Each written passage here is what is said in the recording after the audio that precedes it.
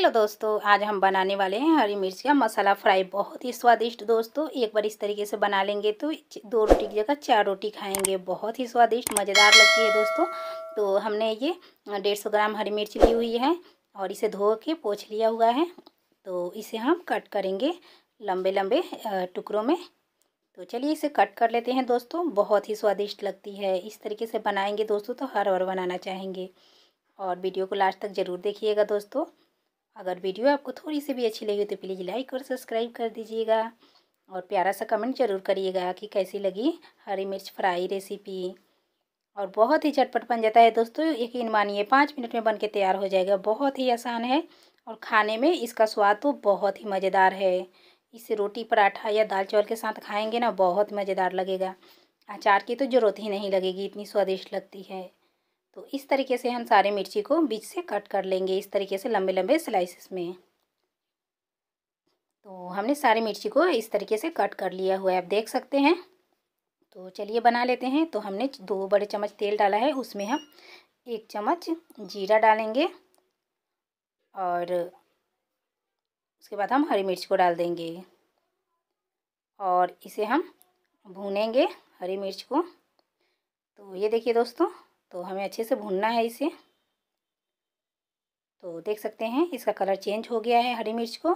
तो इसमें हम मसाले डालेंगे। तो चलिए इसमें कुछ मसाले डाल देते हैं, जैसे हम डालें हल्दी पाउडर, आधी छोटी चम्मच, और इसमें हम डालेंगे लाल मिर्च पाउडर। तो ये कश्मीरी लाल मिर्च पाउडर है। तो इसीलिए अगर आप चाहें तो नहीं भी डाल सकते, स्किप कर सकते हैं। और इस पर हम डालेंगे धनिया पाउडर, आधी छोटी चम्मच।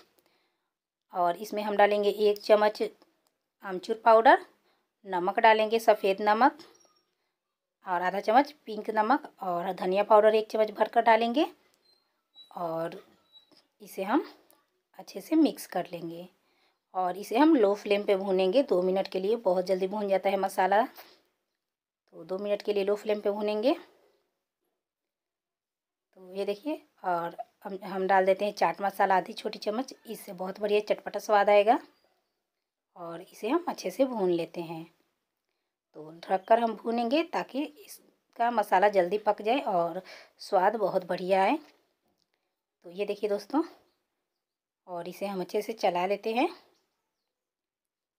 और फिर से हम ढक के पका लेते हैं एक मिनट के लिए, ताकि मिर्ची थोड़ा सॉफ्ट हो जाए। तो देख सकते हैं आप।